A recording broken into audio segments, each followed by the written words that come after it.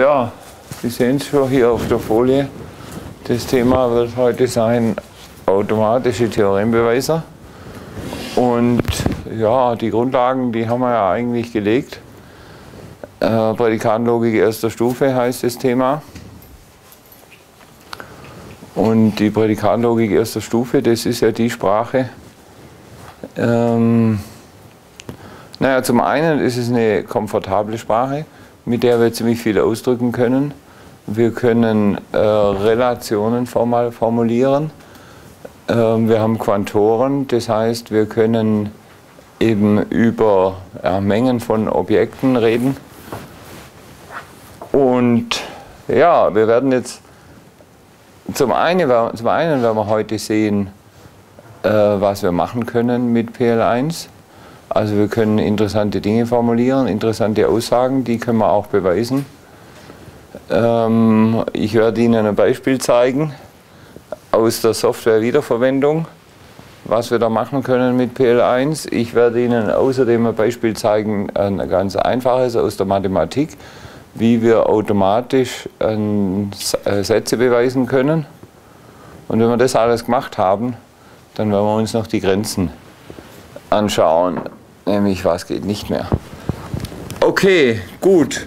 Also, ähm, wenn wir über Resolutionsbeweise reden, also über Maschinen, die Resolutionsbeweise führen können, dann führt kein Weg vorbei an Otter. Also, ja, 1984 äh, wurde der quasi vorgestellt. Ähm, und zwar von diesen Herren, da steht, also Kallmann war das allererste Paper und dann aber Larry Woos und Bill McCune äh, von den, vom Argonne National Laboratory in Chicago, äh, die haben über Jahrzehnte hinweg äh, an dem Otter gearbeitet und den vorgestellt. Und da steht auch jetzt ein Statement von denen. Ähm, und da steht drin, dass Forschung in abstrakter Algebra und formaler Logik das Hauptanwendungsgebiet von Otter ist ähm, gut, und dann hier weiter unten äh, endliche Halbgruppen, ternäre Bullsche Algebren, Logikkalkuli, kombinatorische Logikgruppentheorie, äh, Lattice-Theorie, das ist Gittertheorie, das ist ein relativ allgemeines Gebiet in der Algebra und algebraische Geometrie.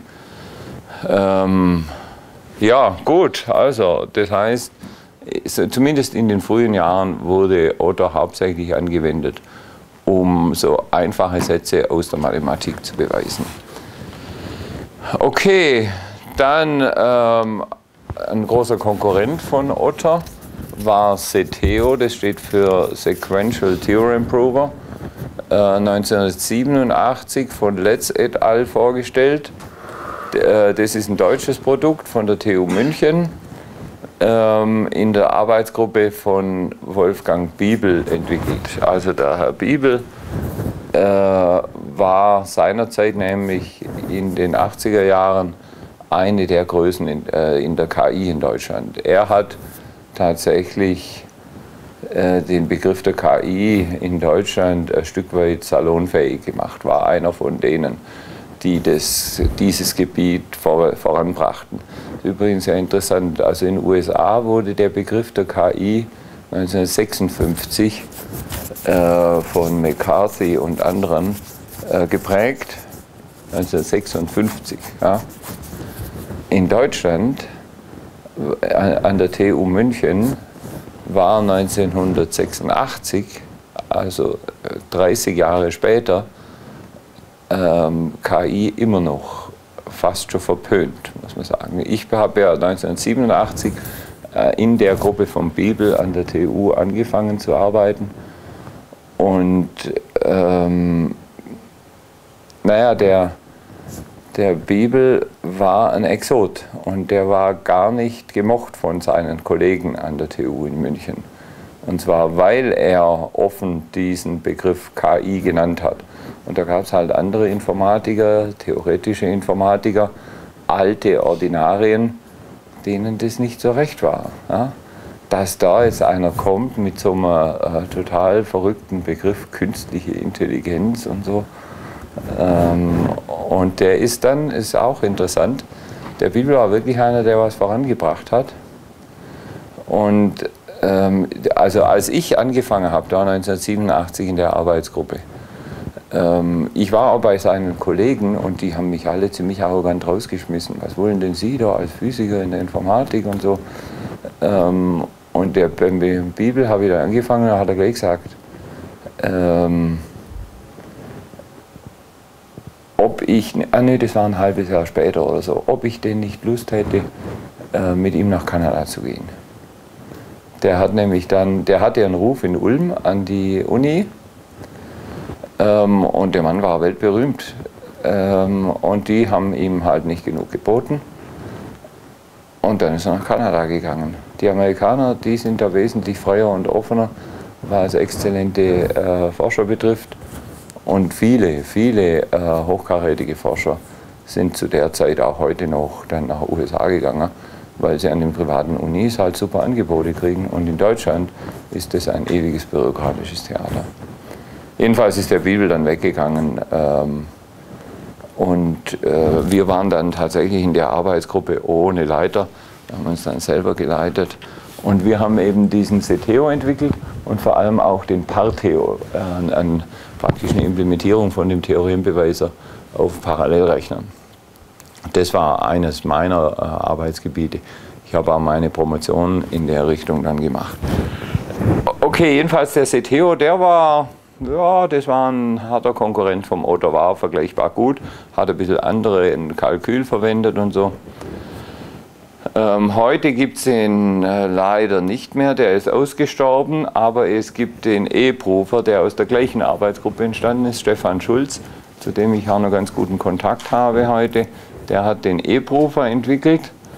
Ähm, und da habe ich auch ein Statement äh, von seiner Homepage und äh, das lesen wir uns einfach mal gemeinsam durch.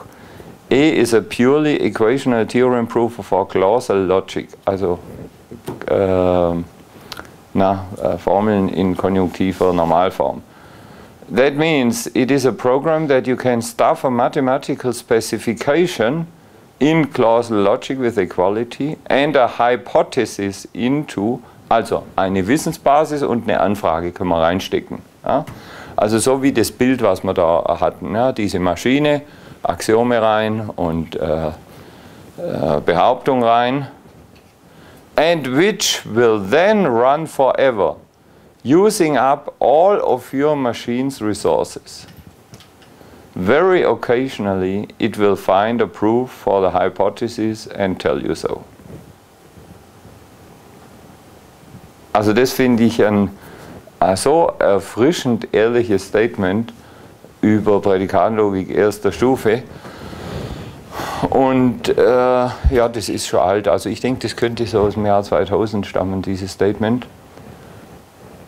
Und die meisten anderen Entwickler von Beweisern sind schon ein bisschen naiv und schreiben so Statements drauf, wie da die Kollegen vom Otter, dass man da tolle Sätze in der Mathematik beweisen kann. Und ich meine, das ist nicht gelogen, das ist wahr. Die haben in den Gebieten Sätze bewiesen. Aber hier, da steht die Wahrheit. Very occasionally it will find a proof. Ja? Ähm, und auch dieses which will then run forever using up all of your machine's resources. Und das stimmt tatsächlich.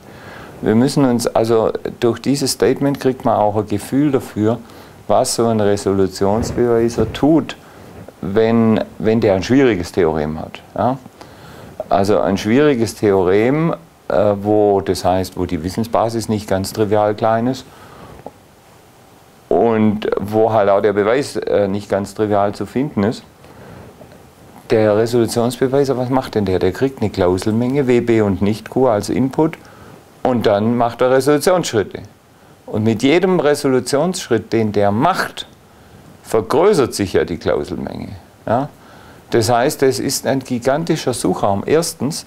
Und zweitens füllt der nämlich seinen Speicher auf wie verrückt.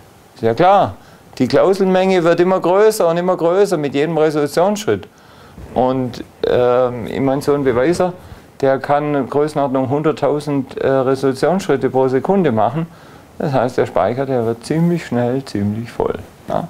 Und wenn dann einmal der Hauptspeicher bis an den Rand voll ist und der Rechner dann am Swappen ist wie blöd, äh, dann versteht man das mit using up all of your machines resources.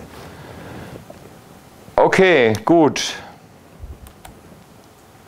Dann, äh, also das waren jetzt, was ich vorgestellt hatte, drei Beweiser von, ja, wie soll ich sagen, voll, drei vollautomatische Beweiser. Also wie der geschrieben hat, wir stecken rein, Wissensbasis und Anfrage und dann lassen wir das Ding losrennen und das ist natürlich klasse.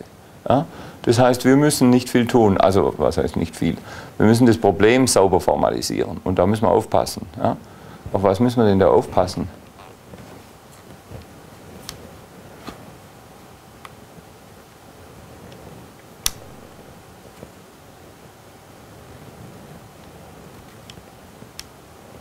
Aber wir müssen auf diverse Dinge aufpassen.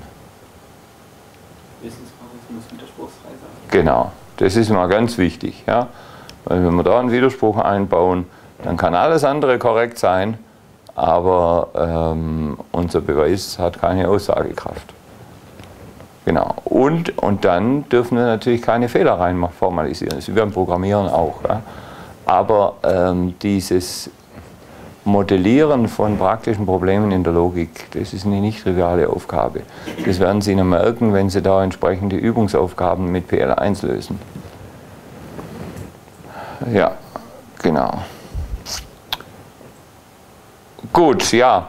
Und dann gibt es noch eine ganz andere Klasse von ja, halbautomatischen Beweisern. Ja. Das sind Beweiser, wo man eben nicht einfach alles oben reinsteckt und dann läuft das Ganze durch, sondern äh, wo man dann quasi an der Beweissuche als menschlicher ja, Entwickler noch beteiligt ist. Ja.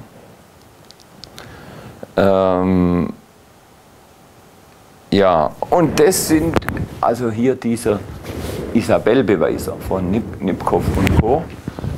Ähm, das ist eine Kooperation. Äh, der Nipkow ist auch in München an der TU oder war es jedenfalls damals und seine Kollegen sind in Cambridge.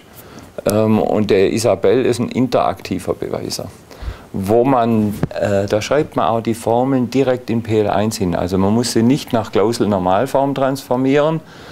Ähm, man hat also etwas höhere, ähm, komfortablere Eingabemöglichkeit. Aber der sucht eben nicht den Beweis vollautomatisch und das heißt, man muss sich in diesen Beweissuchemechanismus ganz schön rein vertiefen und das ist natürlich auch nicht so ganz einfach.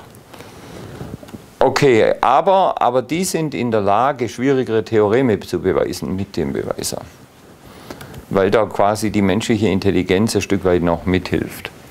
So, okay, gut, genug der Vorrede, jetzt wollen wir uns das Ganze mal anschauen. Jetzt nehmen wir ein einfaches Problem aus der Mathematik und äh, werden das beweisen mit dem E-Prüfer. Den E-Prüfer, den gibt es auch hier auf dem Uranus das, und Sie sollen den ja dann auch für die Übungen verwenden. Okay, und zwar werden wir beweisen, das was hier in grün steht, in einer Halbgruppe sind links- und rechtsneutrales Element gleich. So, also, was ist denn eine Halbgruppe? Das steht hier in der Definition. Das ist eine Struktur M, also eine Menge zusammen mit einer inneren Verknüpfung, äh, die wir hier jetzt als Multiplikation darstellen. Ähm, ja. Und so, so eine Struktur, die heißt Halbgruppe, wenn zusätzlich noch das Assoziativgesetz gilt. Das heißt, wenn die Reihenfolge von Klammern keine Rolle spielt. So. Und wir nennen ein Element linksneutral, wenn diese Formel gilt für alle x, also ein Element e ist ein linksneutrales, wenn e mal x gleich x gilt für alle x. Ja? Also wenn ich von links mit dem neutralen Element multiplizieren kann und es verändert nichts. Und analog rechtsneutral, wenn gilt x mal e gleich x. Okay, so, und jetzt haben wir, äh, und ganz wichtig, in einer Halbgruppe haben wir keine Kommutativität.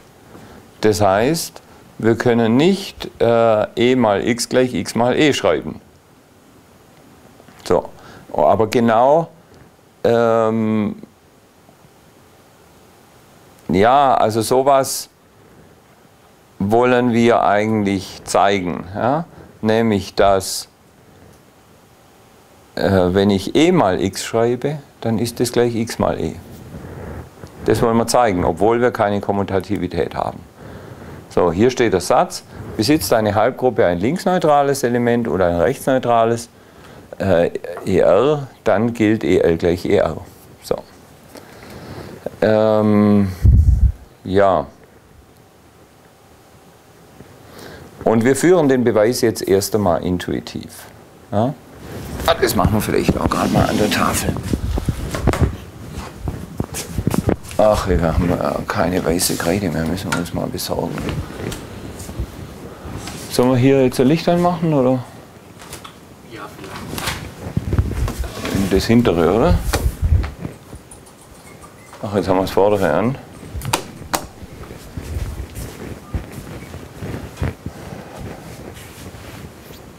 Ja, also, wir haben EL mal x gleich x und außerdem haben wir x mal ER gleich x. Ja? Das ist die Eigenschaft des linksneutralen Elements und das ist die Eigenschaft des rechtsneutralen Elements. So. Ähm, und wir haben hier zwei Gleichungen stehen.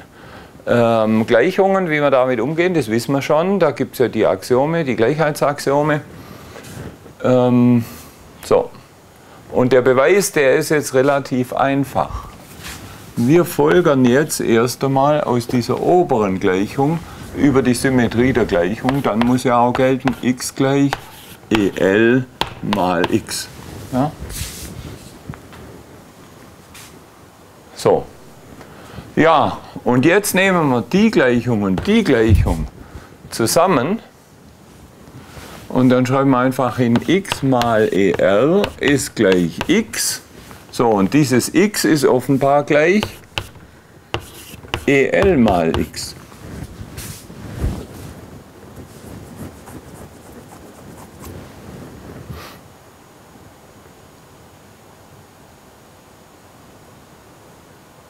Ähm, ach so, halt, äh, sind wir jetzt fertig? Nö. Ja, das ist ja schön, was wir da jetzt gezeigt haben, aber, sorry, ah, ja, wir müssen es doch ein bisschen anders machen.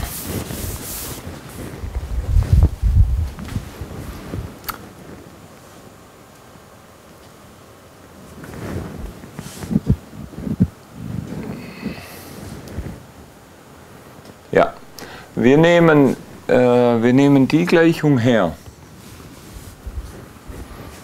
und ersetzen in, also das gilt ja für alle x. Die Gleichung gilt für alle x. Und wenn das für alle x gilt, dann gilt es auch für ER. Ja? Dann können wir also schreiben ER mal, äh, sorry, ER ähm, ist gleich EL mal x. Ah, sorry. Sorry. EL. So, EL mal ER. So. Also in der Gleichung haben wir jetzt x durch ER ersetzt. Und jetzt gehen wir her und ersetzen in der Gleichung x durch EL. Dann steht da EL mal ER. Ja? Also EL mal ER. Okay, also machen wir das vielleicht hier. Kriegen wir EL mal ER ist gleich EL. Okay? Also EL mal ER gleich EL, also können wir hier hinschreiben gleich EL und fertig sind wir.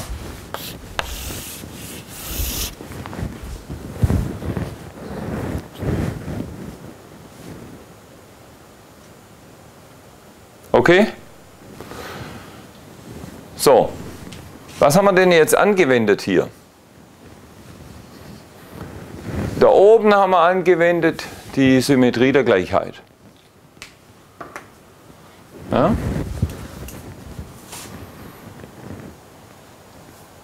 Dann haben wir angewendet, dass wir in dieser Gleichung x durch EL ersetzen dürfen.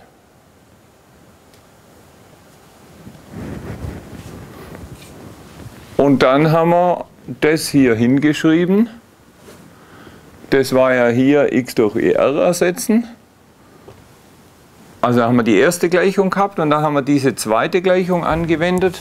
Ach so, und äh, ja, äh, eigentlich sind wir ja noch gar nicht fertig, weil jetzt können wir schreiben EL gleich ER. Hier steht es ja noch nicht da. Hier stehen zwei Gleichungen. Warum können wir von hier nach da schließen?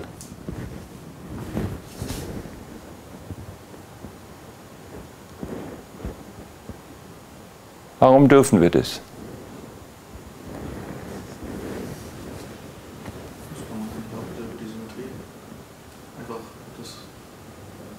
Die letzten beiden Teile vor dem letzten, vor dem und nach dem letzten gleich am rumdreht. Dann hat man da R gleich EL stehen. Nein. Die Symmetrie hilft uns da nicht. Ich meine, wir können das hier drehen, so oft wir wollen. Wir kriegen nie EL gleich R. man ER durch ER macht, dann hat man auf der linken Seite dann 1. Was? ER durch ER? Genau, ja, sagen wir das Ganze. Ähm, Wir teilen diese Gleichung durch R. Erstens nützt es nicht und zweitens äh, erzählen Sie mir mal, warum wir das, so- das dürfen. Was ist denn das durch? Durch. Durch. Also ER durch ER. Durch, ja, das Wort kenne ich aus der deutschen Sprache. Aber dividiert, was ist denn das? Das müssen Sie mir erklären. Hier gibt es kein dividiert. In einer Halbgruppe gibt es kein dividiert. Vergessen Sie es. Also da brauchen wir dann schon eine Gruppe. Dann können wir über Division reden, aber hier nicht. Ja? Wissen ja, dass EL linksneutral ist. Und deswegen wissen wir, dass EL mal ER ist ja ER. Ja, ja, das steht ja hier. Schön.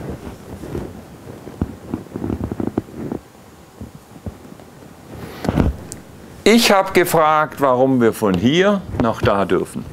Das heißt, warum können wir dieses mittlere Teil weglassen? Das war meine Frage.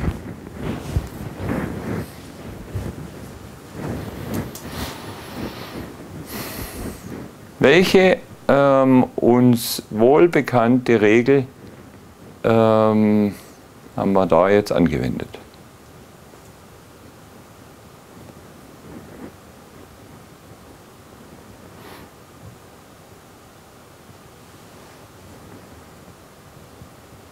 Naja, die Transitivität natürlich. Wir haben die Gleichung und die Gleichung und dann können wir die hinschreiben.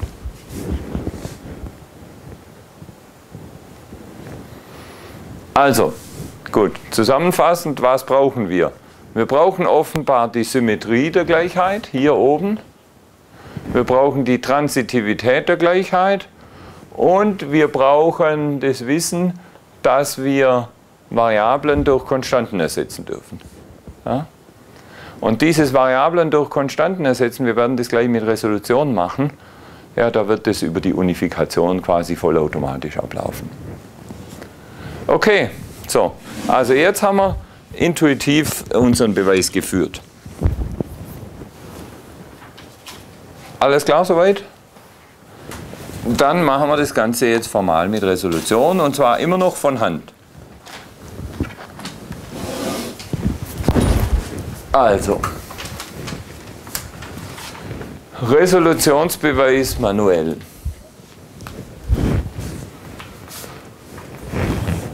Wir schreiben erst einmal unsere Axiome hin. Also unsere Wissensbasis und die negierte Anfrage. So, die Anfrage heißt ja, hier steht sie, L gleich ER. Ja? Die schreiben wir negiert hin. Klausel Nummer 1. Nicht EL gleich ER.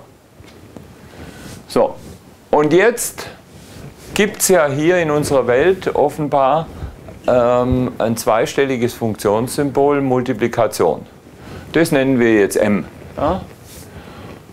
Und außerdem wissen wir, dass das Assoziativgesetz gilt für die Multiplikation. Ja? Und das schreiben wir jetzt hin. Und das sieht jetzt so aus. m von m von x, y, z. Also, das ist quasi die innere Klammer. Ähm, x, y multipliziert. Und das Ergebnis mit z multipliziert ist das gleiche, wie wenn ich zuerst y mit z multipliziere und dann x mit dem Ergebnis. Also, Assoziativität, das ist Axiom, Axiom Nummer 2. So, dann haben wir hier die Linksneutralität. Also EL mal x gleich x und hier rechtsneutral ER, äh, x mal ER gleich x. So. Das ist eigentlich unser ganzes Wissen. Ja. Da steckt drin das Axiom über die Halbgruppe, nämlich hier die Assoziativität, unsere Anfrage und die Definition von links- und rechtsneutralem Element. Okay, jetzt, hier haben wir ja schon gesehen, wir brauchen da Gleichheit für den Beweis. Also schreiben wir die Gleichheitsaxiome noch hin. Ähm, Reflexivität, Symmetrie, Transitivität und ähm, die, ähm, de, genau, die Substitution ähm, für das Funktionssymbol m. Und zwar in, in beiden Argumenten. Ja? Also, ähm, wenn x, also hier steht, wenn x gleich y ist, dann muss m von x, z gleich m von y, z sein. Ja? Also vielleicht schreibe ich das einmal äh, nochmal ein bisschen intuitiver an die, an die Tafel hin. Wenn x gleich y ist, dann muss auch gelten, ähm, und zwar x mal z ist gleich y mal z. Das ist das Substitutionsargument, äh, Axiom für das erste Argument in der Multiplikation. Ja? Wir hatten das aufgeschrieben gehabt für Funktionen. Ja? Also wir hatten aufgeschrieben x gleich y, daraus folgt f von x gleich f von y. Ja, so. Das gilt jetzt für ein einstelliges Funktionssymbol und wenn ich ein mehrstelliges Funktionssymbol habe, dann muss das in jedem Argument von der Funktion gelten. Hier haben wir die Multiplikation mit zwei Argumenten und das ist jetzt eben der ersten, im ersten Argument. Okay, und für das zweite Argument sieht es natürlich analog aus. Wenn ich x gleich y habe, dann muss z mal x gleich z mal y sein. Gut. So, damit haben wir jetzt alles hingeschrieben. Ähm, unsere gesamte Wissensbasis steht da, inklusive Gleichheitsaxiome. So. Und jetzt führen wir einen Resolutionsbeweis. Und ähm, wir hätten jetzt ein echtes Problem, wenn wir uns keine Gedanken machen würden. Schauen Sie mal, wir könnten jetzt natürlich hergehen und sagen, ja, jetzt brauchen wir uns nichts mehr überlegen, jetzt gehen wir streng formal nach Resolution vor. Da haben wir all, äh, all unser Wissen, unsere Formel stehen, in konjunktiver Normalform, und jetzt versuchen wir einfach Resolutionsschritte zu machen. Ja, wo könnte man denn da jetzt Resolutionsschritte durchführen?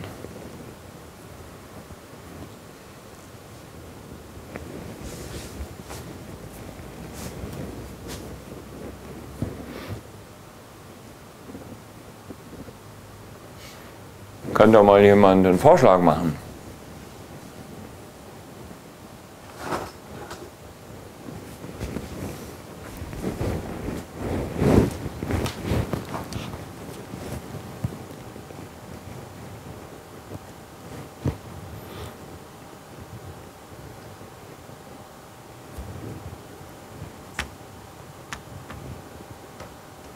Wo überall könnten wir einen Resolutionsschritt durchführen? Und ich meine, da können wir uns jetzt wirklich streng formal hinstellen. Da müssen wir von der Mathe überhaupt nichts verstehen, um die es hier geht. Sondern wir, wir spielen Resolutionsbeweiser und der ist ja beliebig dumm. Er hat keine Ahnung, um was es da geht.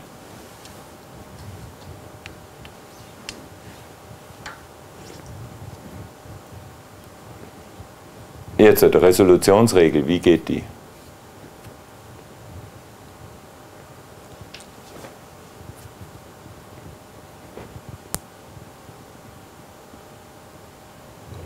Wo, wo ist denn das Problem? Ich hätte gern gewusst, wie die Resolutionsregel funktioniert. Ich brauche ein negatives Element, damit ich das aus der anderen Klausel kann. Genau. Also ich brauche zwei Klauseln erst einmal. Ja?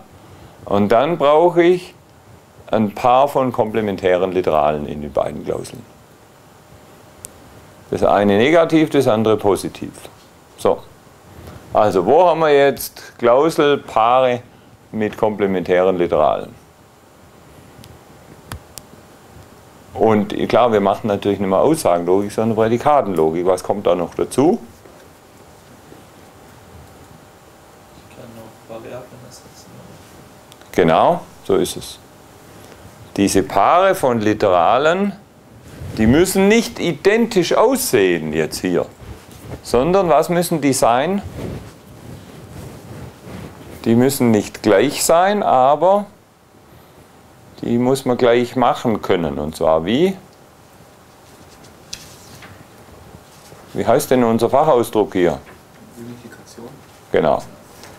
Die müssen unifizierbar sein, die Literale. So, wo haben wir jetzt Literale, die unifizierbar sind?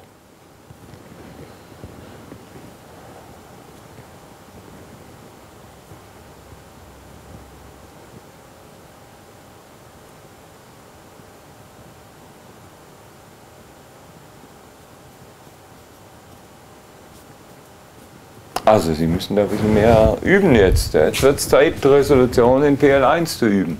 Hier gibt es. Ich weiß nicht, was ich mit dem mache. Ah, mit dem Oder. Also, gerade Also die Frage hätte ich jetzt am allerwenigsten erwartet. Ich meine, das ist doch Aussagenlogik, das Oder. Wir haben Ja, Klauseln. mit dem Ersetzen. Also ich, ich habe zwar nicht x drin, aber wie kann ich das auf, eine, äh, auf 3 oder 4 ähm, unifizieren? Das ist. Was heißt, ich habe nicht x drin? Also hier zum Beispiel jetzt die Klausel, ja, da haben wir ein Oder drin. Ja. Und Und? Da, wo ist das Problem? ich das zum Beispiel auf 3. Also ich muss es muss ja ähm, die sechste irgendwie so unifizieren, damit ich auf 3 komme. 6, ah, hier, da ja, abgucken, das gilt natürlich nicht. Ja. Also 6 mit 3, da geht offenbar ein Resolutionsschritt. Ja. Naja, ist doch klar, ich meine, das 3, das ist eine Unit-Klausel, ja, die hat ein Literal drin und 6 hat zwei Literale.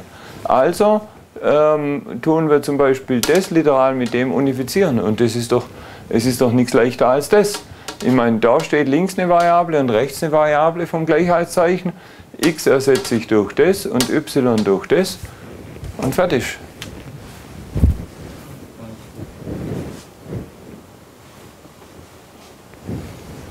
Und genauso kann ich diese Klausel 6, da kann ich genauso ein Liter, ein, ein, ein, äh, na, einen Resolutionsschritt machen mit der Klausel 4. Geht genauso gut. Mit der Klausel 2 geht genauso. Hier steht auch bloß eine Gleichung. Dann ersetze ich halt x durch diesen ganzen Term und y durch diesen Term. So kein Problem. Und mit der ersten auch. Also wir sehen, Klausel 6, da können wir Resolution machen mit allen Vieren da oben. Achso, halt, sorry, da steht, hier steht nicht, aber doch, das geht auch. Hier steht äh, positiv, also können wir, geht genauso. Ja? Also Klausel 6 können wir resolvieren mit 1 bis 4. Ja? Und übrigens Klausel 7 auch. Ja? Und bei Klausel 7 haben wir gleich noch zwei Möglichkeiten. Wir können das Literal mit allen dreien äh, unifizieren und das auch mit allen dreien. Ja? So.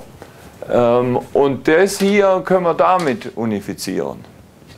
Also wir sehen für Klausel, äh, zählen wir mal, für diese Klausel 6 haben wir drei, vier Möglichkeiten mit der oben Resolutionsschritte. Für die Klausel 7 haben wir drei Möglichkeiten, plus 3 macht 6, plus eine macht 7 Möglichkeiten. Also wir haben im ersten Schritt hier mal vier Möglichkeiten, da haben wir sieben Möglichkeiten, sind elf. Dann hier haben wir eine Möglichkeit, damit sind zwölf. Und da haben wir wieder, ähm, da haben wir hier drei Möglichkeiten.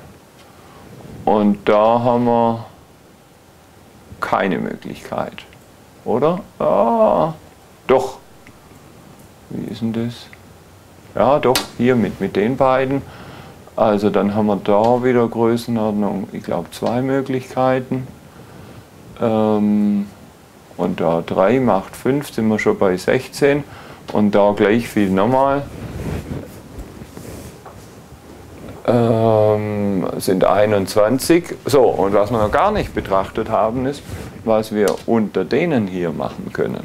Ja, aber da können wir natürlich die untereinander wieder resolvieren.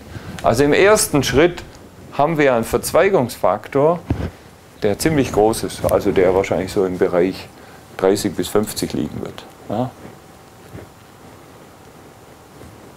Und das ist nur der erste Schritt. Das heißt, unser Suchbaum, der verzweigt sich hier schon ziemlich stark. Ja.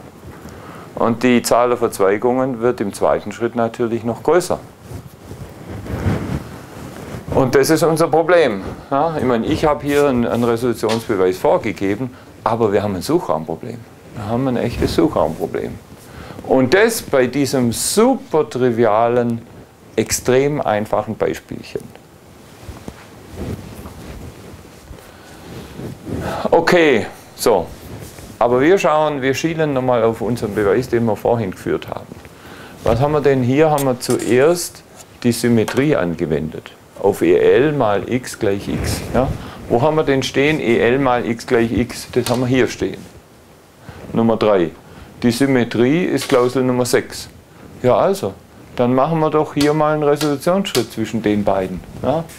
Zwischen 3 und 6 und zwar ist klar, wir unifizieren die beiden miteinander. Also Resolution 3,6 und jetzt hier diese Notation, das ist praktisch die Termersetzung, die wir machen äh, bei der Unifikation. Wir ersetzen die Variable x in Klausel 6 durch m von el, x3, x in Klausel 3. Wir müssen ja aufpassen. Ja? Hier steht zweimal x, aber das sind unterschiedliche x. Ja?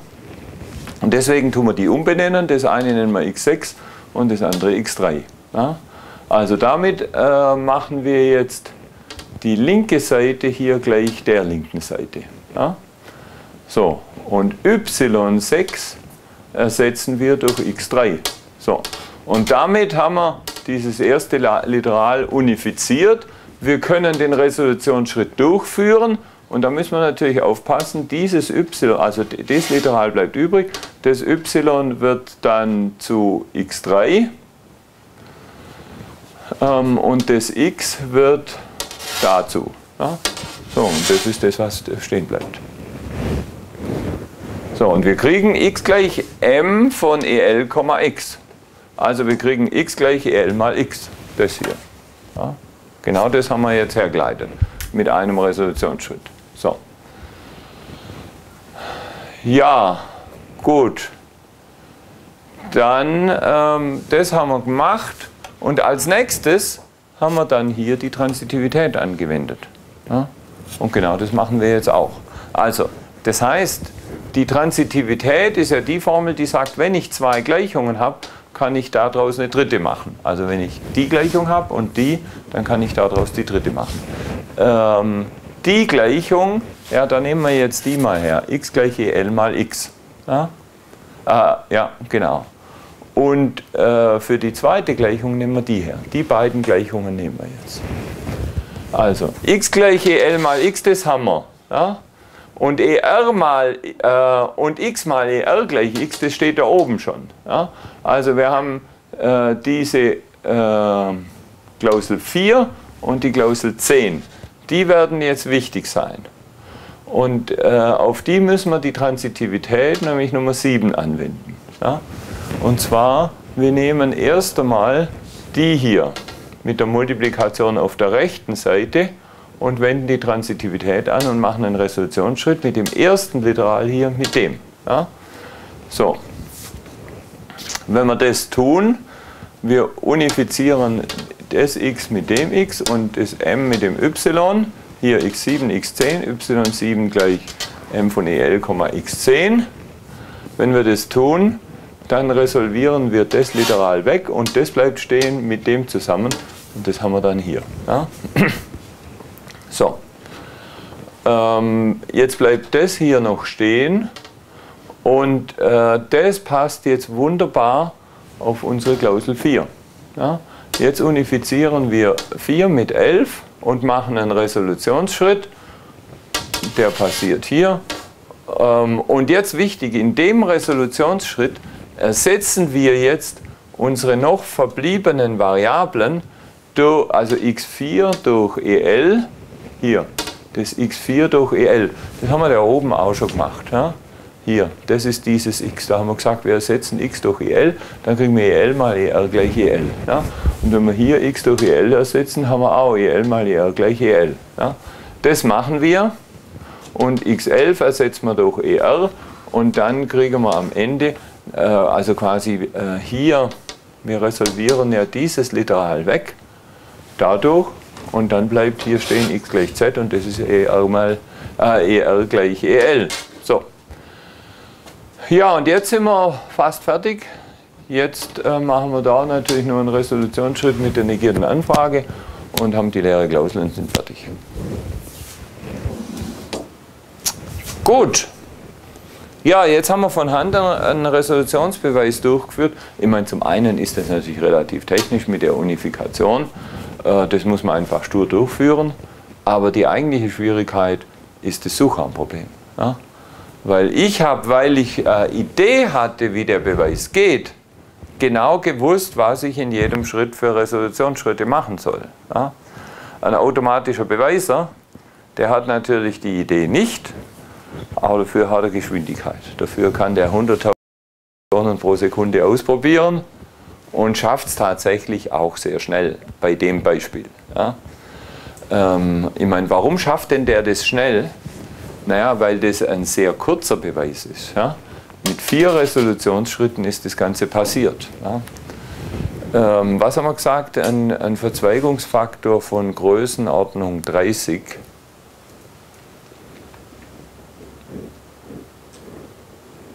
Und wenn wir jetzt quasi uns vorstellen, so einen Suchbaum der Tiefe 4 mit einem Verzweigungsfaktor 30, dann hat der Baum schon 30 hoch 4 ähm, Knoten, die der im Worst Case durchprobieren muss.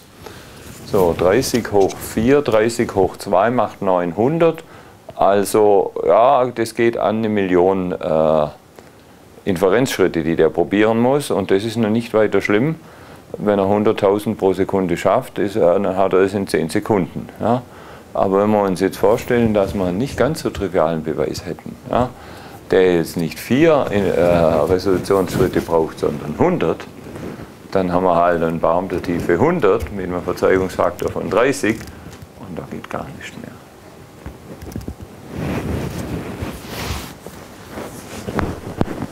Okay, gut. Ja, und jetzt schauen wir uns an, wie der E-Prüfer das machen würde. Ja, ich habe jetzt äh, leider hier auf meinem Laptop den E-Prüfer nicht laufen, aber wir sehen auf der Folie genau das, was der tun würde. Ja, also das ist ein Kommandozeilentool und wir sehen die Eingabe und die Ausgabe. Also wir müssen den nicht selber starten. Sie werden das ja auch selber noch ausprobieren. Okay, also wir benutzen den E-Prüfer. So, und jetzt müssen wir uns natürlich kurz ein bisschen Gedanken machen über die Eingabesyntax, weil wir in ASCII halt keine Uns und Oders und so weiter haben. Ähm, ja. Ähm, hier ist ganz kurz quasi eine Syntaxbeschreibung von, der, von dieser sogenannten äh, Sprache LOP. LOP steht für Logic Programming irgendwas. Ähm, und zwar Klausel Normalform. Ja? Also wenn wir jetzt hier eine Klausel in Normalform haben mit negierten Literalen äh, A1 bis AM und positiven B1 bis Bn, dann sieht die Syntax in Lob so aus. Ja? Nämlich, hier kommt erst die Liste der positiven Literale, getrennt durch Strichpunkte, dann kommt dieser Rückwärtspfeil und dann die Liste der negativen Literale mit Kommata getrennt und am Ende der Zeile macht man noch einen Punkt hin. Ich meine, Sie können das einfach äh, einfach so verwenden. Ja, man fragt sich natürlich, was das für eine komische Syntax. ähm, das ist an Prolog angelehnt. Ja? Das ist ganz klar an Prolog angelehnt. Ähm, wobei Lob eben eine Erweiterung von Prolog ist. Im Prolog, da werden wir nur Hornklauseln verwenden können. Was sind Hornklauseln? Was ist da die Einschränkung?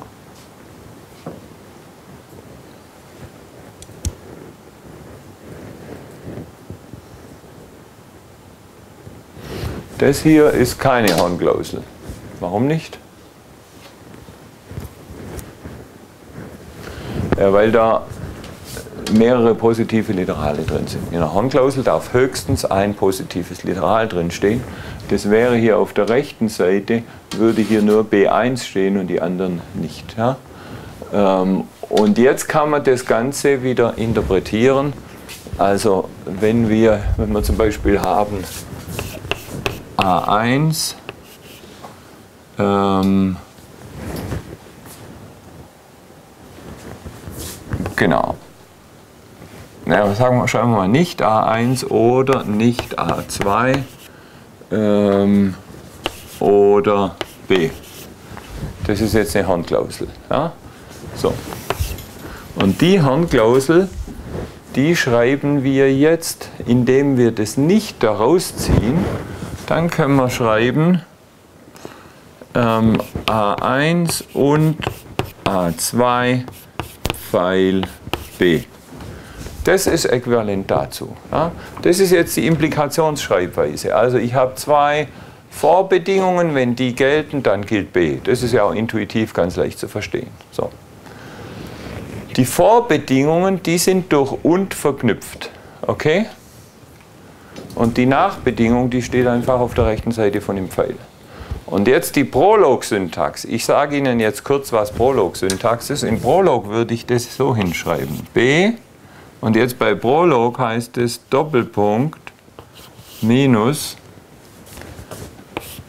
A1, A2 Punkt. So, das ist die Prolog-Syntax. Also in Prolog wird dieser Pfeil quasi äh, symbolisch dargestellt durch Doppelpunkt Minus. Und die, die Bedingungen hier, die schreibt man rechts hin durch Komma getrennt. Und am Ende ein Punkt. So. Und jetzt vergleichen wir das hier mit unserer Lob-Syntax. Das ist genau das gleiche, wenn wir hier rechts schauen. A1 bis AM durch Kommata getrennt und ein Punkt. Und jetzt steht hier nicht das Doppelpunkt Minus, sondern der Pfeil Minus. Ja? Also kleiner Minus. Und auf der linken Seite, bei Prolog, darf hier nur ein Literal stehen. Jetzt in Lob dürfen hier, weil wir beliebige Klauseln erlauben, dürfen hier viele Literale stehen. So, und jetzt die vielen Literale, die hier stehen, ähm, schauen wir nochmal hier. Wenn wir das jetzt erweitern, dann würde hier ja noch stehen oder B2. Ja? Okay? Und wenn ich hier dieses, also wenn ich das in, in die Implikationsform umwandle, da auf der rechten Seite bleibt alles stehen. Das heißt, hier bleiben Oders. Da klappt das Oder um und wird zum Und. Das Und ist das Komma. Da, das hier ist aber ein Oder und deswegen verwendet man da einen Strichpunkt, um quasi zwischen Und und Oder zu unterscheiden. Okay, gut. Ja, also das ist eine ganz simple Übersetzung von unserer Klausel-Normalform in diese Lob-Syntax. Tatsächlich ist Lob-Syntax nichts anderes als Klausel-Normalform. Okay, so, jetzt tun wir das Wissen, dass wir im Prinzip gehen wir her und schreiben einfach diese neun Axiome, so wie sie sind, ab. Jetzt haben wir leider dieses ist gleich erst einmal nicht das heißt, wir tun das ganz naiv formalisieren. Sprich, wir verwenden für die Gleichheit ein Prädikat GL. Das haben wir, glaube ich, schon mal gemacht. Okay. Das ist die Query. Ja? Und, äh, und zwar, wie war das nochmal? Ja. Die, die negierten Literale, die stehen hier vor dem Pfeil. Das heißt hier quasi rechts vom Pfeil. Also da haben wir einen Pfeil, wir haben ja nicht EL gleich ER, das ist die Anfrage. Ja? So, also das ist ein negiertes Literal, das ist unsere Anfrage und dann kommen die ganzen Axiome. Die Assoziativität, ähm, ich meine, da tun wir das ist gleich hier dazwischen vorne als GL hinschreiben. Ja? Dann das linksneutrale Element, rechtsneutrales Element, Reflexivität der Gleichheit, Symmetrie, Transitivität und die beiden Substitutionsaxiome. Also wirklich ganz straightforward hingeschrieben. Okay, und jetzt, also und das schreiben wir genau so in eine Datei rein. Das ist dann unsere Eingabedatei mit der Extension .lob und darauf wenden wir jetzt den äh, eproof an. Und zwar mit dem Befehl eproof halbger 1.lob, wenn das der Dateiname war. So, und dann ist das die Ausgabe, die der Beweiser liefert. Ähm, und zwar, wenn wir uns das jetzt anschauen, hier quasi durchgezählt, die Zahl der Beweisschritte. Ähm, und ja gut, die ersten Beweisschritte, die sind eigentlich trivial, weil was der da tut ist, er schreibt erst einmal die Klauseln einfach nochmal hin, die er verwendet hat für den Beweis. Ja? Und zwar, da steht immer hinten dran Initial, Initial. Also bis hierher, das sind die Klauseln aus der Eingabemenge, die er verwenden wird. Also ähm, ein bisschen eine andere Syntax und das Minus Minus heißt, ich habe ein negiertes Literal, ja, das war ja die Query und dann haben wir hier die Symmetrie der Gleichheit, ähm, GL x1, x2 positiv und negativ x2, x1. Dann haben wir hier das linksneutrale, da das rechtsneutrale Element und da haben wir die Transitivität der Gleichheit. Das sind die Klauseln, die, wir, die ihr brauchen wird nachher. Ähm, und die sind jetzt durchnummeriert von 0 bis 4. Und gut, und jetzt ist es so, dass äh, das PM hier, das steht für Resolution. Das liegt daran, dass der tatsächlich Paramodulation macht, weil es ein Gleichheitsbeweiser ist, aber es entspricht einem Resolutionsschritt. Und zwar mit 3 und 1. Also 3 und 1. Ja gut, da ist es offensichtlich.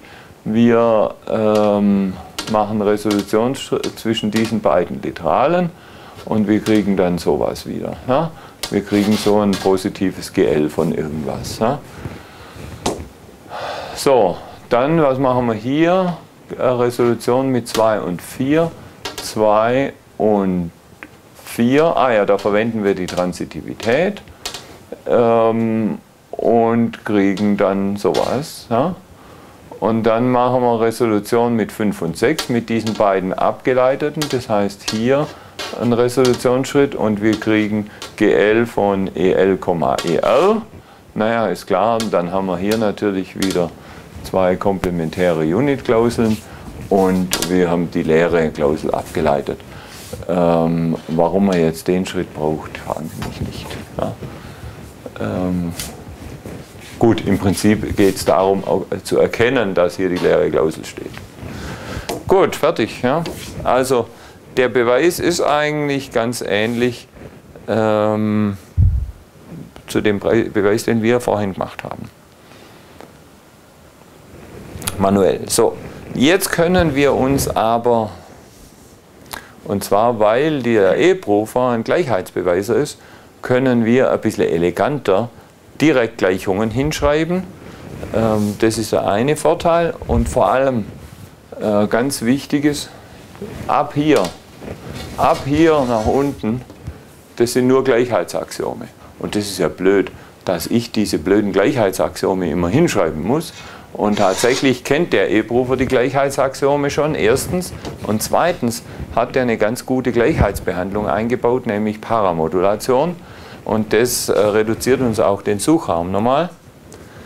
Ähm, und, sorry, eins weiter noch. Und dann sieht das Ganze nämlich so aus.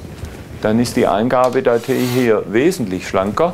Keine Gleichheitsaxiome müssen wir mehr hinschreiben, ähm, sondern wir schreiben hin die Anfrage, Assoziativität und die zwei Definitionen für links- und rechtsneutral. Das ist alles. Und wenn wir jetzt den Beweis aufrufen, ist auch nicht weiter erstaunlich, dann ist der Beweis ähm, ein bisschen kürzer. Ja. Genau. Gut, ja, also da will ich jetzt hier auf die Details nicht mehr eingehen, das kann man auch relativ leicht noch verstehen. Ähm, ja, gut. So, also jetzt haben wir ein Beispiel gesehen und da gibt es natürlich auch viele andere einfache Beispiele, gerade so aus den Bereichen Gruppentheorie und auch andere mathematische Theorien, wo das Ganze gut funktioniert. Schwieriger wird haben wir jetzt ja schon mehrfach gesehen, sobald äh, die Theoreme richtig aufwendig und komplex werden. Ja? Da wird halt der Suchraum groß und da haben wir äh, dann Rechenzeitprobleme. Gut, ein paar Beispiele für Anwendungen. Ein ganz spektakuläres Beispiel war 1976 der Beweis des Vierfarbentheorems. Ähm, ja, Sagt es jemand was, das Vierfarbentheorem? Und zwar, das ist ein Theorem aus der ähm, Graphentheorie. Und zwar besagt es, wenn ich eine zweidimensionale Landkarte habe, dann ähm, und ich habe vier verschiedene Farben. Um, also Landkarte von Europakarte zum Beispiel. Ja. Und da trage ich die verschiedenen Länder ein in der Landkarte. Dann genügen vier Farben, um die Karte so zu zeichnen, dass keine zwei benachbarten Länder die gleiche Farbe haben. Ja. Also jede zweidimensionale Landkarte lässt sich mit vier Farben so zeichnen, dass keine zwei benachbarten Länder gleiche Farbe haben. Okay, ist klar? Kann ja jeder mal daheim ausprobieren, ob das geht oder nicht. Hört sich eigentlich ganz simpel an. Ja? Aber der Beweis von diesem äh, Satz war alles andere als trivial. Die Herren, die den zum ersten Mal äh, bewiesen haben, das waren äh, deutsche Kybernetiker. Oh, wie hieß denn der?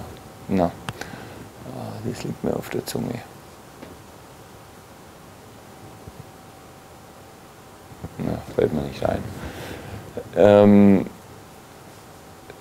der Beweis, den die gefunden hatten, geht quasi so. Man überlegt sich, was für Konstellationen, lokale Konstellationen, von Ländern kann es denn geben und deren Nachbarschaft.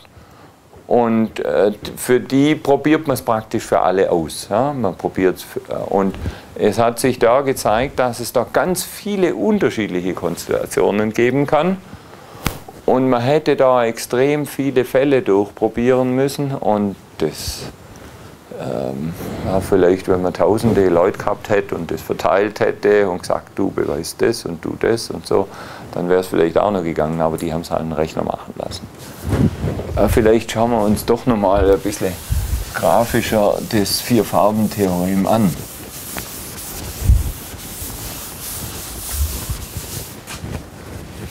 Also, ähm, jetzt malen wir uns mal eine Landkarte.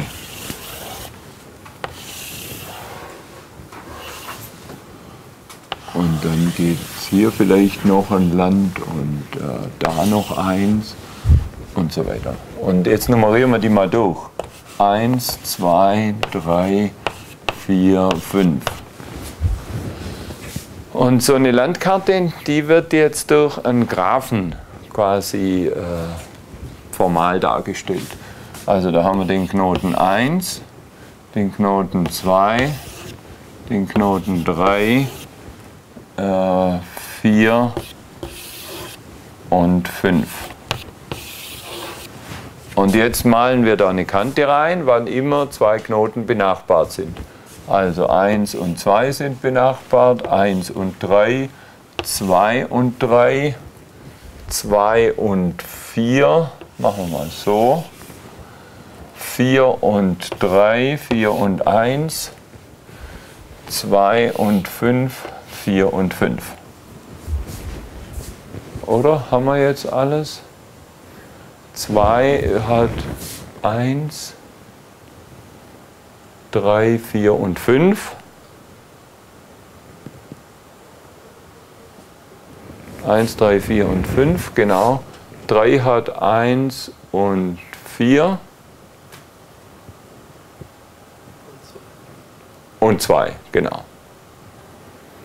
4 hat auch wieder 4 Nachbarn. 1, 2, 3, 4, ja, genau. Und 5 hat nur 2 Nachbarn. So. Und jetzt, genau, und jetzt überlegen wir uns mal, wir haben ja hier vier Farben. Ich meine, für den ersten Knoten, da kann man irgendeine Farbe nehmen. Orange. Und für den zweiten können wir auch noch irgendeine andere Farbe nehmen. So. Und jetzt, ähm, ja gut, da können wir auch noch irgendeine Farbe nehmen. So, jetzt müssen wir aufpassen. Jetzt haben wir drei Farben. Oh ne, beim vierten können wir auch noch. Oder? So. Bei drei müssen wir jetzt aufpassen. Ja gut, das geht mit Blau. So.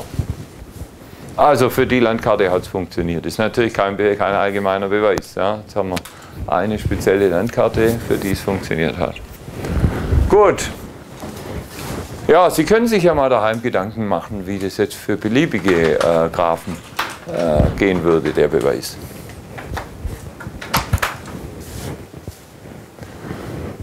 So, und das war natürlich spektakulär 1976. Zu dem Zeitpunkt ähm, gab es noch, ja, ich weiß nicht, ob es da schon automatische, richtig automatische, allgemeine, universelle Beweise gab es gab so Spezialbeweiser, das gab es definitiv. Nicht nur den. Aber wie gesagt, eine Maschine gebaut nur für, zum Beweis von dem Satz ist natürlich nicht so toll. Das, was wir hier haben mit dem E-Proofer und so, sind Universalbeweiser. Mit denen können wir im Prinzip jede wahre Formel aus PL1 beweisen. Okay, weitere Anwendungen. Ganz wichtig war äh, Inferenz in Expertensystemen. Also wir schreiben einfach unser Wissen hin und irgendwelche Anfragen und äh, versuchen die zu beweisen. Heute weniger. Ich, mein, ich habe es schon mal erwähnt. Ähm, äh, Semantik Web ist heute natürlich ein cooles Thema. Wir, wir, wenn, wenn wir jetzt im Internet irgendwas suchen und Anfragen stellen, dann ähm, soll das nicht nur per Volltextsuche passieren, so wie das heutige Suchmaschinen machen, sondern wir formulieren eine Anfrage in Logik. Alle unsere Webseiten sind per Logik beschrieben und jetzt ist die Frage, folgt diese Anfrage aus, äh, aus irgendwelchen Webseiten? Ja. Das ist natürlich eine sehr interessante Geschichte. Es ist klar, da wird volle Prädikanlogik erster Stufe auch nicht funktionieren, weil die Suchräume viel zu groß sind. Aber da gibt es eben äh, Arbeitsgruppen, die sich damit befassen. Wie können wir die Prädikanlogik einschränken? Was für Sprachen müssen wir dann verwenden und so weiter, sodass das effizient und schnell gehen kann. Automatische Programmverifikation, natürlich ein ganz wichtiges Thema. Also ähm, Es geht ja darum zu beweisen, dass ein Programm das tut, was es soll. Also dass das semantisch korrekt ist, das Programm. Das heißt, ich schreibe die Aufgabe in Logik hin, schreibe dann ein Programm und jetzt hätte ich gerne einen Beweiser, der tatsächlich so einen Beweis führt und sagt, okay, dieses Programm erfüllt alle Anforderungen aus der Spezifikation. Im Prinzip das, was ein Softwareentwickler tun sollte, schreibt sich am Anfang ein Pflichtenheft auf. Was soll denn das Programm tun? programmiert es und am Ende überprüft er, tut das Programm das, was es soll. Ich meine, schön wäre es natürlich, wenn wir in der Softwareentwicklung so einen harten Beweis führen könnten. Was machen wir denn in der Softwareentwicklung? Wir haben auch unsere Spezifikation, unsere Implementierung und was machen wir dann hinterher? Tests, genau. Wir machen einzelne Tests. Und das natürlich, äh, da liegen Welten zwischen dem, was wir hier tun könnten, nämlich Beweise führen, und den Tests. Weil beim Test, da kann ich immer nur endlich viele Input-Patterns in mein Programm reinstopfen und schauen, ob das Richtige rauskommt. Aber von dieser potenziell unendlichen Menge aller Inputs zu beweisen, dass das richtige Ergebnis rauskommt, das ist natürlich was völlig anderes. Ja? Und das äh, ist das Thema automatische Programmverifikation. Ähm, ja, an der Stelle ist die gute Nachricht, es gibt heute PL1-Beweiser, die sowas beweisen können. Ein Pflichtenheft kann man auch in Logik hinschreiben. Ja, also für viele Fälle, sagen wir mal. Ja? Ja, und dann ist ja klasse. Wir schreiben unser Pflichtenheft in Logik hin, wir schreiben unsere Programm, unser Programm hin und dann braucht man natürlich einen entsprechenden Kalkül, der auch über Programme Reasoning treiben kann. Das geht alles. Ja? Das Hauptproblem ist natürlich ein Suchraumproblem. Ja? So. Also das Gute ist, im Prinzip können wir es tun und die schlechten Nachrichten sind erstens, wir haben ein äh, gewaltiges Suchraumproblem für größere Programme. Für ganz kleine Programmchen geht es. Und jetzt kommt die richtig schlechte Nachricht. Und das werden wir tatsächlich auch noch beweisen jetzt im, im Rest vom Semester, wenn wir dann äh, über formale Sprachen reden ähm, und über Komplexität.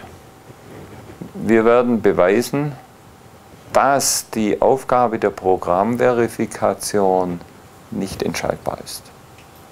Das ist ein Problem, das heißt, ähm, also die Frage, ist ein Programm korrekt, also tut es immer das, was es soll, diese Frage, die lässt sich nicht allgemein beantworten. und das wiederum heißt, es kann kein Programm geben, das diese Frage universell beantwortet. So, also im Allgemeinen kann es gar nicht gehen, aber für einzelne spezielle Probleme ähm, kann es doch gehen. Und zwar so. Wo das angewendet wird, Sicherheitseigenschaften von kryptografischen Protokollen. Ja? Ganz wichtig. Also, äh, ich meine, ist klar, da geht es um Sicherheit, da geht es äh, um viel Geld, wenn man jetzt irgendwelche Banktransaktionen sich vorstellt und so weiter. Und da tut man tatsächlich mit solchen Spezialbeweisern heute so quasi den Kern von kryptografischen ähm, Algorithmen äh, automatisch verifizieren. Ja? Also das heißt, dieser Kern, der dann vielleicht in äh, C programmiert ist, der wird tatsächlich verifiziert. Und immerhin, das heißt, an der Stelle hat man dann die Sicherheit. Dieser Code ist in Ordnung. Aber Natürlich ist dieser Krypto-Algorithmus, der vielleicht sich kurz in, in 20 Zeilen hinschreiben lässt, eingebettet in eine große Software. Und von dieser großen Software können wir natürlich die Korrektheit nicht mehr beweisen. Und wenn da jetzt natürlich irgendwelche Bugs drin sind. Okay, äh, eine weitere Anwendung ist Software-Wiederverwendung. Ähm, das wäre natürlich auch schön. Ich meine, das kennt jeder, der programmiert. Man will irgendwas programmieren und denkt sich, ah ja, da bräuchte ich jetzt ein Unterprogramm für die und die Aufgabe. Ja, wo kriege ich das her? Gibt es das schon in irgendeiner Library? Ja, und dann holt man sich halt eine Bibliothek und äh, schaut in das Manual rein oder in die Datenbank und durchsucht quasi händisch, äh, die Beschreibungen, gibt es da ein Modul, das das tut, was ich will. Ja? Und das ist natürlich sehr anstrengend. Und äh, das wäre natürlich auch wieder so eine Aufgabe par excellence, um so einen Beweiser anzuwenden. Ja? Und ähm, wenn ich da jetzt Module habe, die sich relativ simpel mit ein paar wenigen logischen Formeln beschreiben lassen, dann wäre es vielleicht sogar denkbar, dass der Beweiser, ich habe eine Anfrage und das schreibe ich auch in Logik hin, was soll mein Programm tun? Und jetzt wird diese Anfrage immer verglichen mit den Beschreibungen der tausenden Module in meiner äh, Softwarebibliothek. So, und so ein Beispiel schauen wir uns jetzt mal schnell an. Ja. Ähm, also das ist ein, ein, Beispiel von einem Kollegen, der bei äh, mittlerweile bei NASA Ames im Silicon Valley arbeitet ähm, und zwar unter anderem auch an so Software-Wiederverwendungsaufgaben. Und der hat da ein Paper geschrieben, ähm, in dem er gezeigt hat, dass das geht mit einem automatischen Theorembeweiser und wie das geht. Ja. So, also, erst einmal, wir haben eine Anfrage. Das heißt, wir suchen ein Softwaremodul und für dieses äh, Softwaremodul geben wir an Vorbedingungen und Nachbedingungen. Ja. Also, das Q steht für Query. Also, das ist quasi das Modul, das wir suchen. Ja. Und dann Prä-Q, das sind die Vorbedingungen, die vor der Anwendung des gesuchten Programms gelten müssen. Ja. Post-Q sind die Nachbedingungen, die nach der Anwendung des gesuchten Programms gelten müssen. Also dieses Prä-Q, ähm, was weiß ich, ich suche jetzt einen Sortieralgorithmus, um Listen von reellen Zahlen zu sortieren. Gut. Ähm, dann wäre das Prä-Q, der Input muss eine Liste von reellen Zahlen sein. Ja, also mein gesuchtes Programm muss in der Lage sein, Listen, äh, nicht reellen, äh, Listen von Floating Points zu akzeptieren. Das wäre die Vorbedingung. Ähm, und sonst keine weitere Bedingung. Die Nachbedingung, ja, wie würde die lauten? Das muss eine sortierte Liste. Genau, so ist es. Der Output muss wieder eine Liste sein und die muss aber sortiert sein. So. Das schreibe ich so hin und äh, die Aufgabe besteht nun darin, äh, dass in einer Software-Datenbank nach Modulen gesucht die, wird, die diese äh, Anforderungen erfüllen. Ja? So, also in unserer Software-Datenbank steht jetzt für jedes Modul M auch so eine Spezifikation drin. Äh, Prä-M, also die Vorbedingungen für das Modul und die Nachbedingungen. Ja? So. Und jetzt müssen quasi zum Beweisen, dass irgendein Modul meine Spezifikation, meine Anforderung, also dieses Q hier, erfüllt, müssen zwei äh, Formeln gelten. Die erste heißt Prä-Q, Pfeil Prä-M. Ja? Also alle äh, quasi, wie ist das? Ähm, ja, meine Spezifikation muss alle Anforderungen des Moduls erfüllen. Ja? Ähm, Beispiel. Wenn meine Spezifikation jetzt lautet, sortiere Listen von reellen Zahlen. Und ich finde ein Modul, ähm, das jetzt uni, äh, universell sortieren kann. Also das kann natürliche Zahlen, Floating Points, vielleicht sogar noch irgendwelche Strings sortieren. Ähm, äh, dann muss offenbar gelten, aus der Anforderung reelle Zahlen sortieren, wie ist das? Muss folgen, muss die, genau, na, wie ist das? Warum, warum gilt jetzt äh, Prä-Q-Pfeil Prä-M?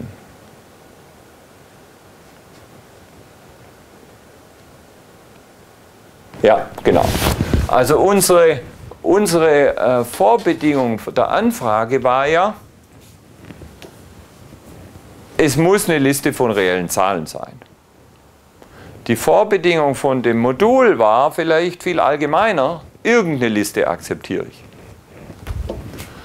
Und es gilt natürlich, wenn das eine Liste mit reellen Zahlen ist, dann ist es irgendeine Liste.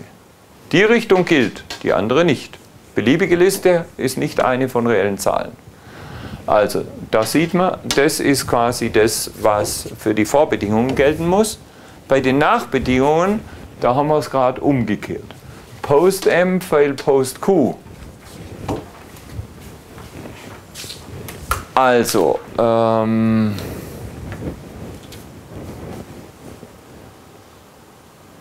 unsere Nachbedingung war ja, muss sortiert sein. Alles andere interessiert mich nicht. Wenn ich jetzt ein Modul finde, zum Beispiel habe ich in meiner Spezifikation nichts gesagt darüber, was soll denn passieren, wenn ich zwei Listenelemente habe, die gleich sind. Wie soll dann die Reihenfolge sein? Die kann man ja dann vielleicht durch irgendwelche anderen Kriterien auflösen. Das war mir egal. Und das könnte ja bei meinem Modul da drin stehen. Ja, wenn die Listenelemente gleich sind, dann ähm, verwende ich irgendein Verfahren zum Auflösen. Aber daraus folgt natürlich immer, dass das Ding sortiert ist. Ja. So, okay, damit haben wir eigentlich den Formalismus. Wir, wir müssen diese beiden Formeln hinschreiben und beweisen, dass die gelten. Also wir müssen beweisen, dass das hier gilt und dass die andere äh, Formel gilt. Und das werden wir jetzt tun. Das stammt jetzt eben aus diesem Paper von Schumann und Fischer. So, und zwar haben die verwendet VDML-SL. Das ist eine spezielle Spezifikationssprache, und zwar Vienna Development Method Specification Language. Ja. Da ich kein so ein Softwareentwickler bin, sagt mir das jetzt nicht allzu viel. Sagt Ihnen das was aus dem Software Engineering? Nicht? Okay. Also, das ist eine Spezifikationssprache für Software. Und ähm, fangen wir mal hier unten an. Wir suchen ein Programm, das aus einer beliebigen Liste eine Permutation erzeugt. Ja? Das praktisch die Reihenfolge meiner Listenelemente verändert. Ja? Shuffle. Beliebige Permutation erzeugt. Ohne weitere Anforderungen. Irgendeine Permutation. Ja? So. Also. Shuffle. Der Input muss eine Liste sein und der Output ist auch wieder eine Liste. Das ist schon mal eine erste Bedingung. Ja? So. Und äh, für, an Vorbedingungen haben wir sonst nichts weiter. Deswegen schreibt man True rein. Keine weiteren Bedingungen. Und als Nachbedingungen, ja, was müssen wir denn in der Nachbedingung hinschreiben? Naja, in der Nachbedingung müssen wir eigentlich hinschreiben, es soll wieder eine Liste rauskommen, aber das reicht mir noch nicht aus. Was muss da stehen? Dass mindestens ein Objekt oder ein Element ähm, verschoben wurde. Ja, da bin ich mir jetzt gar nicht, das kommt jetzt darauf an. Vielleicht, äh, weil die Identität ist ja auch eine Permutation.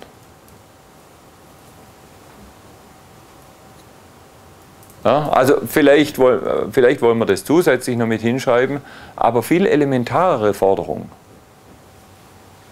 Alle Elemente in beiden Listen drin sein müssen? Was heißt in beiden? Also alle Elemente aus der Input-Liste ja. müssen im Output auch wieder drin sein. Ja? Und zwar ähm, keine Duplikate. Ja? Also die Out, in der Output-Liste müssen genau die drin sein aus dem Input. Das ist das Wichtigste. Und dann können wir vielleicht noch hinschreiben, okay, aber mindestens ein Element muss seinen Platz gewechselt haben oder mindestens sieben Elemente oder keine Ahnung. Ja? So, und das äh, steht jetzt hier. Für alle i vom Typ, also Sie sehen, das ist jetzt nicht mehr PL1, das ist eben diese VDML-Sprache, das ist ein bisschen eine andere Syntax als PL1. Äh, hier haben wir ein Allquantor für alle i vom Typ Item. Ja? Ähm, und der Typ Item, da reden wir gleich noch drüber. Also der, klar, Item ist letztlich Listenelemente. Ja? Ähm, dann dieser Malpunkt, der heißt einfach, der Quantor gilt für den Rest. Ähm, dann muss gelten, Also so eine Äquivalenz. Hier haben wir erst einmal die eine Seite von der Äquivalenz. Es gibt ein x1 und x2 vom äh, Typ Liste. Also wir haben zwei Listen, x1 und x2. Und, wie, und jetzt wieder, dieser Quantor gilt für den Rest, so das gilt x gleich x1 ähm, und dieser, äh, dieses Dachsymbol ist jetzt die Konkatenation. Ja? Also ähm, wir haben eine erste Liste, dann, und jetzt hier mit eckigen Klammern, das ist eine Liste. Ja? Wir haben eine erste Liste, da dran gehängt wird die Liste mit dem Element i und dort dran gehängt wird noch eine Liste 2. Ja? So. Ähm, und jetzt dieses x hier, das ist unsere Inputliste. Also, äh, hier steht quasi, äh, wenn in unserer Inputliste irgendwo das Element i vorkommt, ja, i ist ein Item, also ein Listenelement. Irgendwo, also da vorne Liste, dann kommt das i und danach irgendeine Liste, dann muss dieses Element i auch in der Output-Liste x' an irgendeiner Stelle vorkommen. Und das steht hier. Ja? Also wir haben zwei andere Listen, y1, y2, aber das i kommt auch äh, in der Output-Liste vor. Also jedes Element, das in der Input-Liste vorkommt, muss auch in der Output-Liste vorkommen.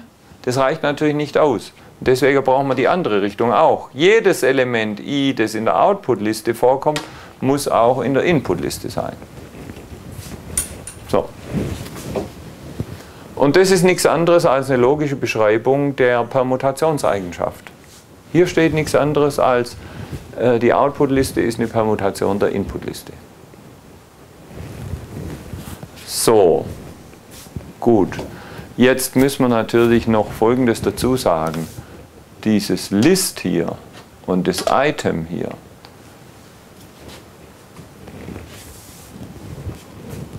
ähm, da muss natürlich der Beweiser jetzt verstehen, was List heißt, was dieser Datentyp List heißt. Ja? Und ich meine, das ist hier jetzt nicht aufgeführt, aber tatsächlich haben Listen eine ganze Menge Eigenschaften. Die haben Eigenschaften und dann gibt es Operationen auf Listen. Zum Beispiel gibt es eine Konkatenation. Und das muss natürlich alles in Logik beschrieben sein, was passiert, wenn ich zwei Listen aneinander hänge.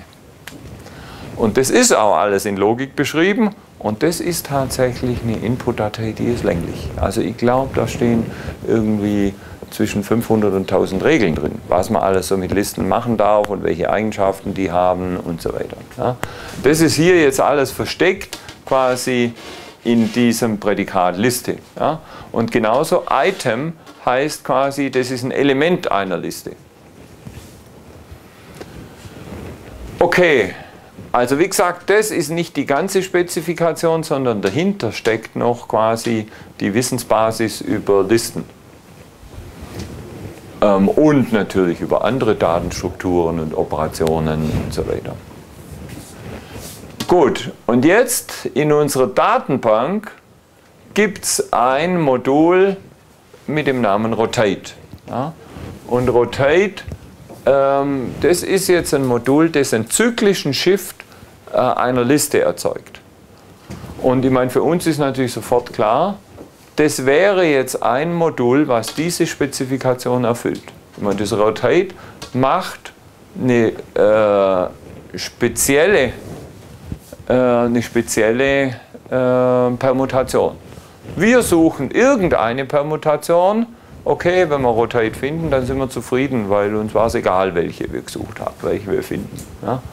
Gut, schauen wir Rotate nochmal an. Also Input ist eine Liste, Output ist eine Liste, die heißen L und L'.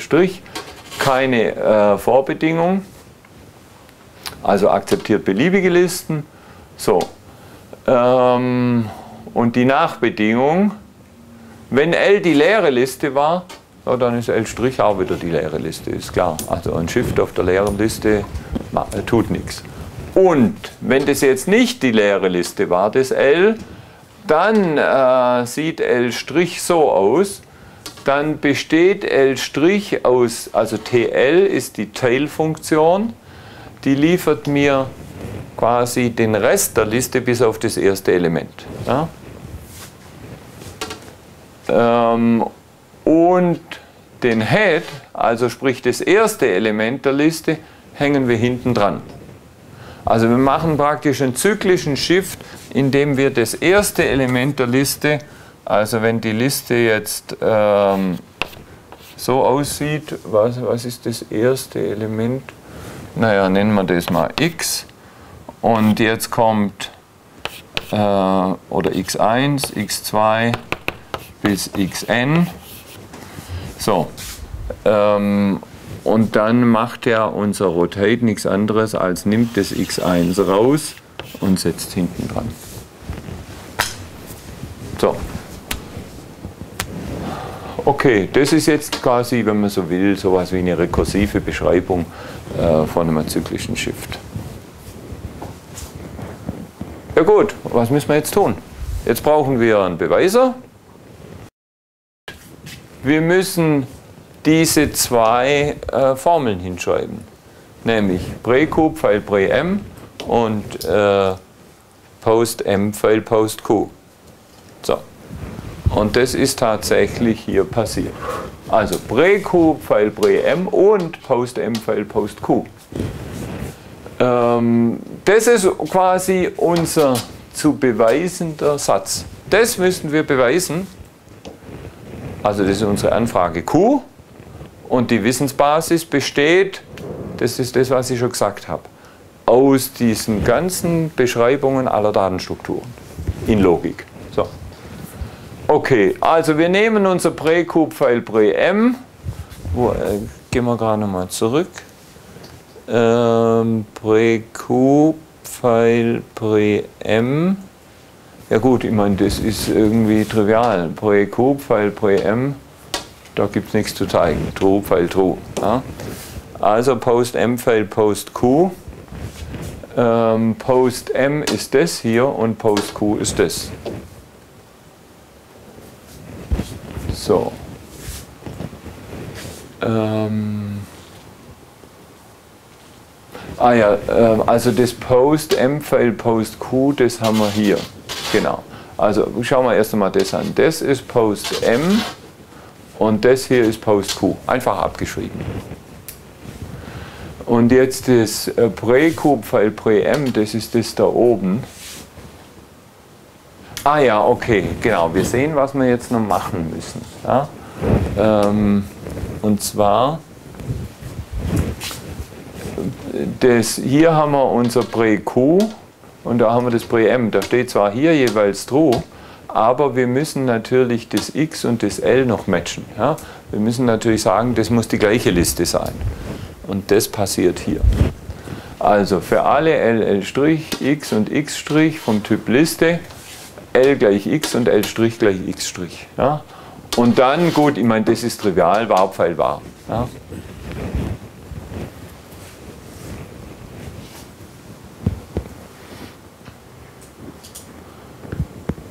Ja.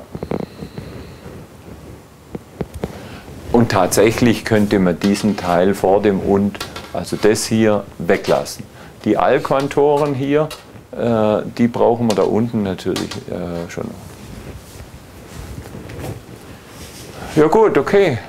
Und äh, wie gesagt, das muss man jetzt in den Beweiser reinwerfen, zusammen mit der Wissensbasis und hoffen, dass der irgendwann nach endlicher Zeit terminiert und sagt, hurra, Beweis gefunden. Und das war natürlich schon eine Leistung von den Autoren von dem Paper, das Ganze so hinzutunen und hinzutricksen, dass der Beweiser ähm, da tatsächlich einen Beweis findet.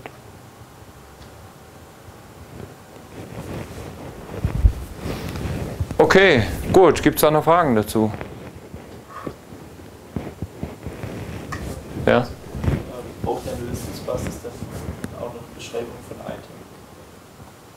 Natürlich, klar. Absolut.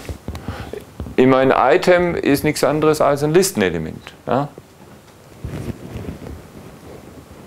ja.